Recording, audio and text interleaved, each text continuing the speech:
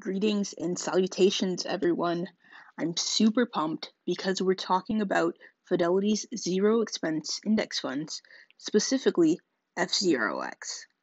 I'm going to speak a bit about the fund and then I'll show you my real numbers after 18 months of investing using the dollar cost averaging method.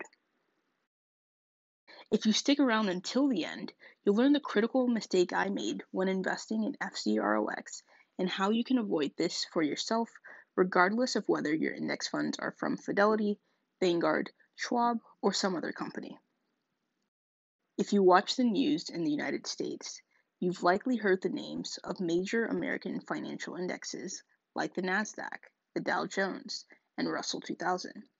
We also have the Standard & Poor's 500, often called the S&P 500 for short, which is probably the most popular market index. It is comprised of the 500 largest publicly traded companies in the US by market value. More broadly, an index is a method to track the performance of a group of assets in a standardized way. Measuring the stock market, or a subset of one, helps investors to compare current price levels with past prices in order to calculate the market performance. Thus, an index fund is a portfolio of stocks or bonds that is designed to match the composition and performance of a financial market index. Index funds make it easy to have a diversified investment portfolio by allowing you to invest in a basket of different companies all at once. Since they follow a passive investment strategy, index funds can have lower management fees than actively managed mutual funds.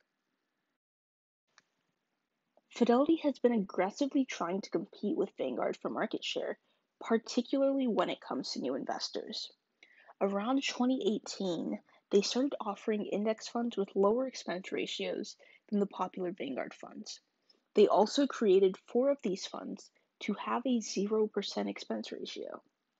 Now, they're obviously losing money on these zero funds, but they're eating the costs with the hope that these funds can entice people to become Fidelity customers and eventually bring in more profits once they start using their other products.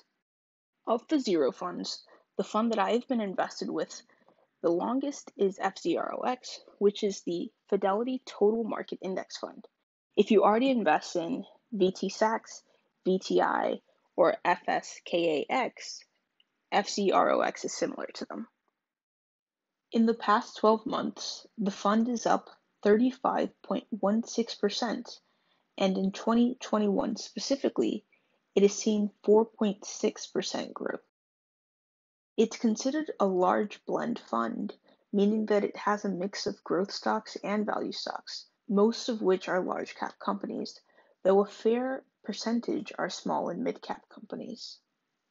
This fund has 2,442 holdings, and its objective is to return investment results that correspond with the total return of a broad range of US stocks. As you can see, the companies in this fund represent a variety of the major market sectors, which aligns with what you see in the actual stock market. I used dollar cost averaging to invest in FZROX. Dollar cost averaging, or DCA, is a strategy to reduce the impact of volatility by spreading out your stock or fund purchases over time so you're not buying shares at a high point for prices. This article suggests that DCA is when you invest at regular intervals and in roughly equal amounts. Though I invested in FZROX over several months, it wasn't necessarily a predefined interval or amount of money. I still feel like it qualifies as DCA, but I'll let you be the judge. After you see my real numbers, let me know in the comments. Is this DCA or is it not? Let me show y'all where the money resides. FZROX came up on my radar sometime in summer 2019. I decided to open a brokerage account with Fidelity and I transferred $5,000 from my high yield savings account and invested it into FZROX. Now, on those particular shares, I'm up over 38%. Let's see, we can actually format this as a percentage for easier reading. After that, as you can see, I didn't touch that fund for a few months. Dividends and short term capital gains were the next investment there. So that was $82. A couple days after dividends were paid, I decided to set up a recurring investment into FZROX each month that was $250. When the market started tanking in March 2020 due to the pandemic, I can't lie, I got freaked out and I canceled the recurring transfer. So you can see I don't have any activity from February until May. Um, at the same time, I also lowered my 401k contributions. In retrospect, I probably should have stayed the course. However, I never sold anything. Once May 2020 came around, I resumed investing.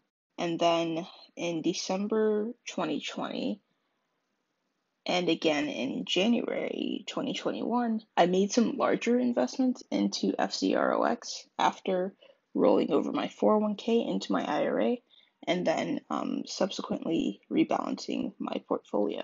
All of these values are just copied and pasted from my Fidelity account.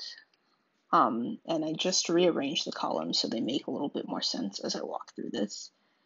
But let's see how much I have invested to date. So we'll just take the sum of the C column. So to date, I have invested over $36,000. Um, and let's see how much I've made. So again, we'll take the sum of D2 to D19 and it's saying zero. Why ever could that be? I'm guessing that Google Sheets is not interpreting the values in the D column as currency, so I will just format it that way. And now it understands it. It has this as $4,164, so that's my total gain across all the shares. Now for the current value, we're just going to add everything up. Essentially, the sum of the E column should equal these two together, but we'll just do it as the sum of E for simplicity's sake. And for some reason, this is coming in really oddly, so we just want to go ahead and format this as currency as well. Okay, awesome. Now we see my current value of all of my FZROX shares is $40,628.52. Now let's try to understand my percent gained. So we'll take D20, which is our total gain, over C20, which is our cost basis, and we see that I have an 11.42% total increase, which is very exciting. I also wanted to call your attention to column H. So this is the cost basis per share. Notice how the price fluctuates over time. The first time I invested in it, it was 1035, but with the market drop, I got in at a $9.84 cost per share. It certainly went lower between February and May. I just wanted to call your attention to this so you can see how the market can rise and fall. Now, the moment everyone has been waiting for. What do I regret about investing in FZROX? I've already mentioned that I wish I hadn't canceled my automated monthly investments. The other regret I have is investing in FZROX altogether.